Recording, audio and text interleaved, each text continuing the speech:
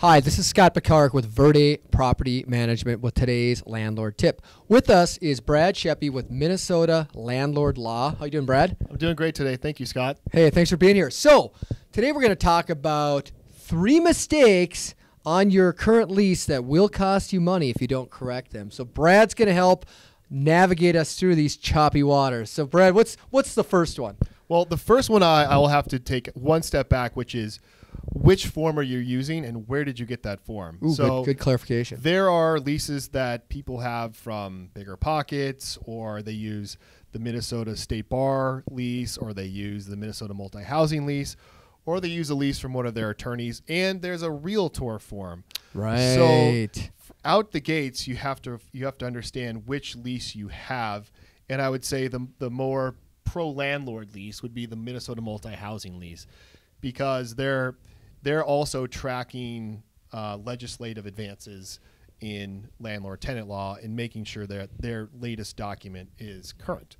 So that being said, um, first step is to understand which lease you have, and um, I'm a little bit biased. I have my own lease form that, I, that I, I believe is the best, but there's there's lots of other documents. Humbly, right? Humbly. Yes, right, Yes. Um, but that being said, there's a few things that in the residential lease that should not be in there. Off the top of my head is one. It's about it's it's in most documents, but you should check on your specific document, which is the um, non-waiver partial payment language, Mm. meaning if you accept partial rent from a tenant, meaning less than the total month's rent, um, can you still evict that tenant for the total amount of rent due?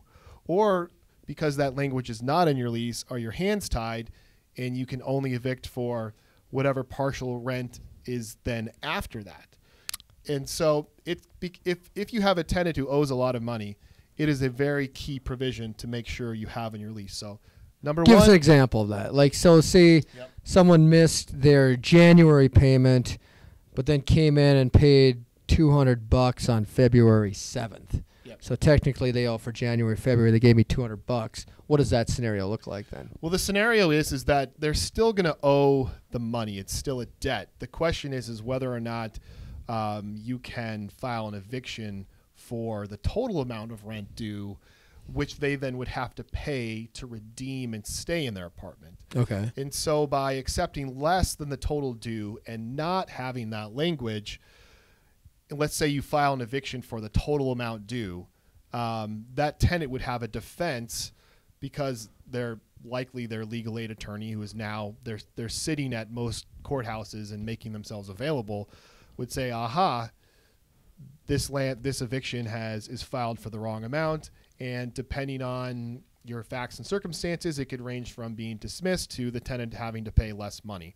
So it's really about um, just being smart about non-waiver provisions where it permits a landlord to accept partial payment of rent due and still evict for the total amount Okay. kind of a legalese there but it's important that's definitely one of the top ones and it comes up often in housing court where you see landlords doing their own evictions and not Right. understanding the law Right. um, another one is attorney's fees um, so number two is attorney's fees it's you one generally assumes that if the tenant breaches or defaults in the lease then i the landlord want to be entitled to all my attorney's fees because gosh darn it um, i'm having to pay out of pocket because of the tenant Right. Right? Right. but the reality is there's a couple of things that, that come into play. Uh, one is is that a lot of a lot of let's say for socioeconomic reasons, many tenants are, are, are you'd call judgment proof. They really don't have a lot of money, and even if that attorney's fees provisions in there, you're really not going to be financially much better off, and it really isn't much of a stick.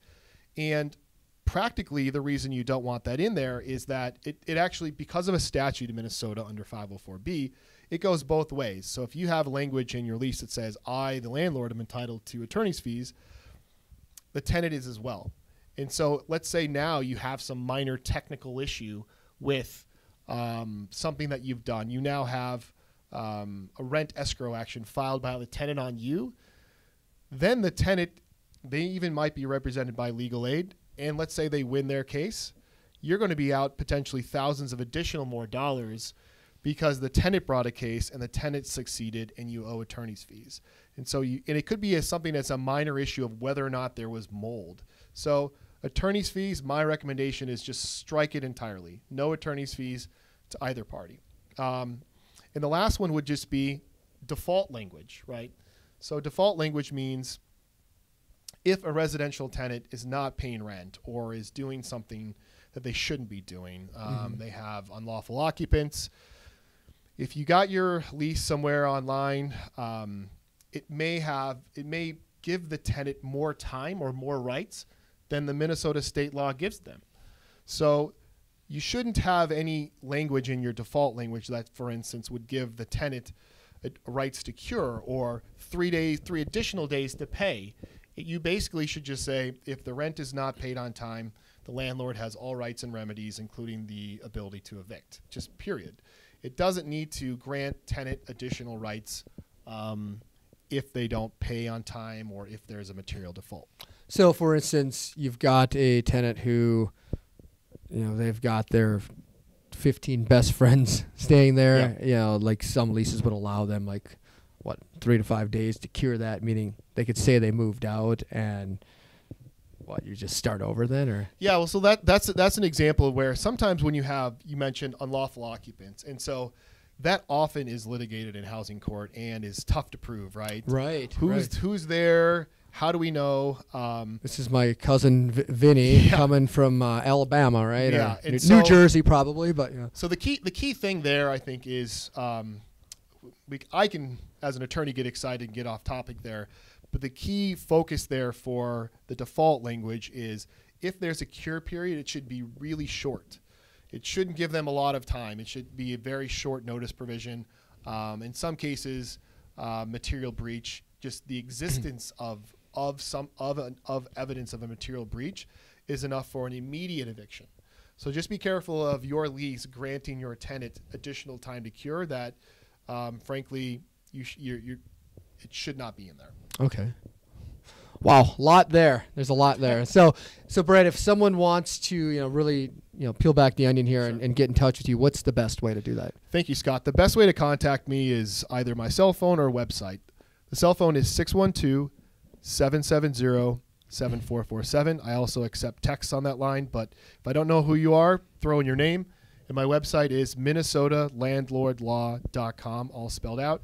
And you, there's a little bit of information there, and you can also schedule a time um, by clicking a new client, which will bring you to my calendar to schedule a call with me. Awesome, awesome. Thanks a lot, Brad. And I'm Scot Pekarek with Verde Property Management. Like always, if you want to get a hold of us, the number is 612 600 8888, 612 600 8888. Call or text or online 24 7 at verde realestate.com. We hope this content has been valuable. And like always, if we can be of further service, please let us know. Thank you.